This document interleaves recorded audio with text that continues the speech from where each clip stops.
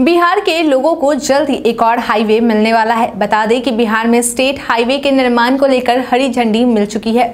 बिहार में 275 किलोमीटर लंबे हाईवे को करीब 2680 करोड़ रुपए के लागत से तैयार किया जाएगा। संबंधित अधिकारियों के अनुसार इस हाईवे का निर्माण 2024 तक पूरा किया जाने का लक्ष्य रखा गया है। वहीं फ़िलहाल इस हाईवे की निर्माण प्रक्रिया का काम शुरू कर दिया गया है। इसके साथ ही एडीबी के द्वारा इन सड़कों के निर्माण के लिए ऋण की सहमति भी दी जा चुकी है।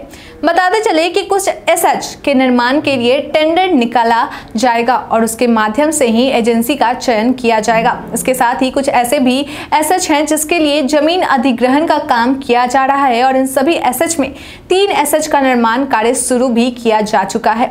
बता दें कि राज्य में सभी सात एसएच के निर्माण से नौ जिलों को इसका सीधा लाभ मिलेगा। इससे लोगों को आवागमन में काफ़ी सुविधा मिलेगी। जिन नौ जिलों को एसएच के निर्माण से सुविधा मिलेगी, उनमें पश्चिम चंपारण, कटिहार, पूर्णिया, किशनगंज, खगड़िया, सहरसा, नवादा, औरंगाबाद और बांका ज़िले शामिल हैं। सूत्रों से मिली जानकारी के अनुसार पश्चिम चंपारण ज़िले में बेतिया से नरकटियागंज तक करीब एस एच का निर्माण किया जाएगा, जिसकी लंबाई पैंतीस किलोमीटर होगी। इसमें करीब तीन करोड़ रुपए की लागत खर्च होने की संभावना है। जानकारी के लिए बता दें कि इसके निर्माण को लेकर एजेंसी के चयन की प्रक्रिया अंतिम चरण में है।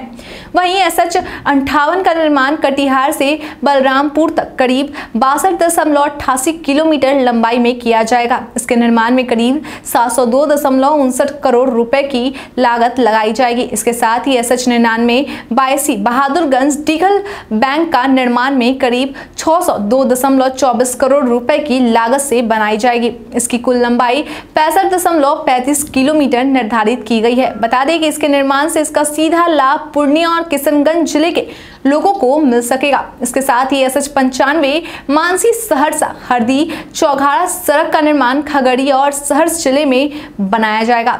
इसे बनाने में करीब 670 करोड़ रुपए की लागत लगाई जा रही है और यह सड़क 28 किलोमीटर लंबा होगा।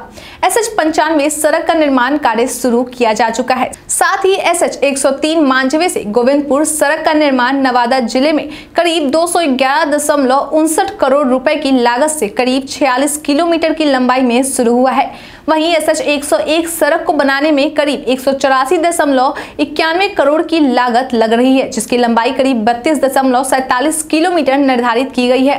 इस सड़क का निर्माण अंबा से मदनपुर तक औरंगाबाद ज़िले में किया जाएगा। इसके साथ ही एस एच पचासी अमरपुर बाईपास का निर्माण बांका ज़िले में करीब चार किलोमीटर की लंबाई में किया जाना है। आज के लिए इतना ही, धन्यवाद।